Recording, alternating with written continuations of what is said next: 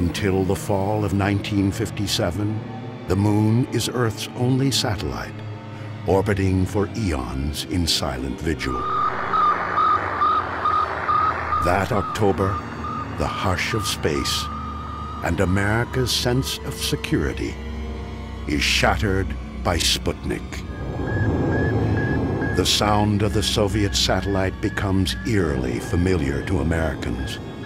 Fears escalate that the Cold War could heat up with catastrophic effect. Immediately, everyone thought, well, they're now able to really send their, their military machines around the world up above who was not going to be in danger. President Eisenhower combined several agencies working on rocketry and flight to create one civilian agency, the National Aeronautics and Space Administration. Over the next years, the United States successfully launches satellites with great scientific payback.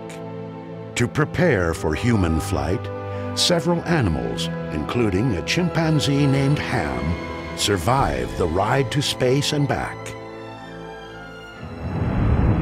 But once again, these American accomplishments are eclipsed by the Soviet space machine.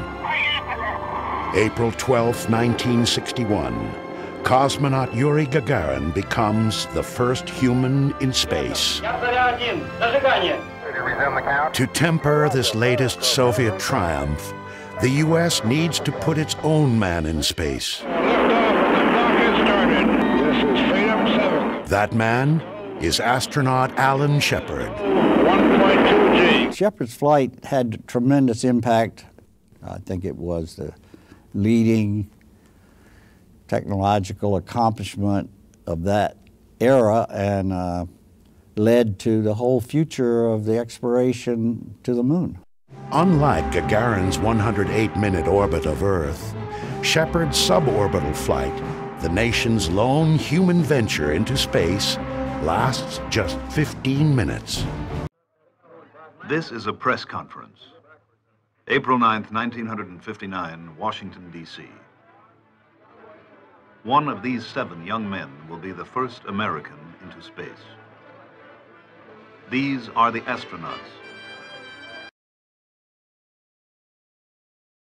The problem of selecting pilots to represent the United States in space was approached from the same uncompromising direction.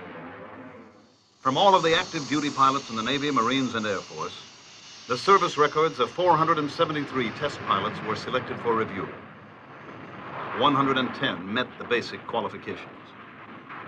Each must be a graduate of a Navy or Air Force test pilot school, 1,500 hours of flight time, qualified in jet aircraft, an engineering background, younger than 40 at the time of selection, and 5 feet 11 or less. The National Aeronautics and Space Administration asked 69 Navy, Marine, and Air Force officers of the 110 who qualified to come to Washington for a briefing.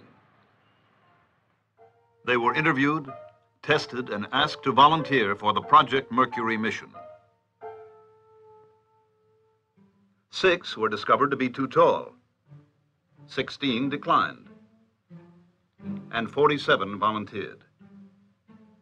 32 were asked to continue through a series of capability tests which would indicate not the best man in the group, but the various degrees of qualification of each man.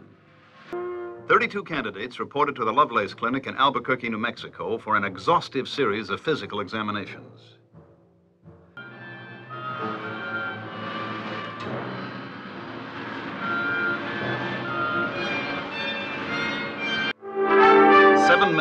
Emerged from this competitive purgatory as the Project Mercury astronauts. At McDonnell Aircraft, they saw a model of the space capsule they would ride into orbit. They sat in the cockpit for the first time. This is the beginning for each of them. Captain Donald K. Slayton, United States Air Force, age 35, from Sparta, Wisconsin. Lieutenant Commander Alan B. Shepard, United States Navy, age 35, from East Derry, New Hampshire. Lieutenant Commander Walter M. Schirra, Jr., United States Navy, age 36, from Oradell, New Jersey. Captain Virgil I. Grissom, United States Air Force, age 33, from Mitchell, Indiana. Lieutenant Colonel John H. Glenn, United States Marine Corps, age 38, from New Concord, Ohio. Captain Leroy G. Cooper, Jr., United States Air Force, age 32, from Carbondale, Colorado. Lieutenant Malcolm Scott Carpenter, United States Navy, age 33, from Boulder, Colorado. Out of this training together, a strong esprit de corps developed. They all felt that this must be a team effort involving all of Project Mercury.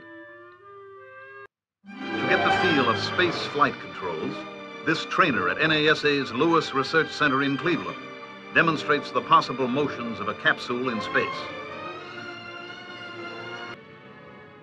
Off Wallops Island, Virginia, capsule drops at high altitude test the parachute and recovery systems.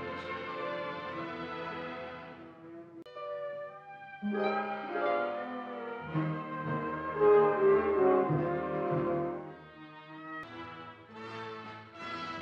are the astronauts. United States Project Mercury.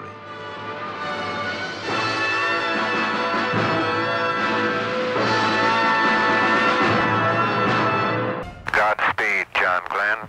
February 20th, 1962. John Glenn circumnavigates the Earth three times.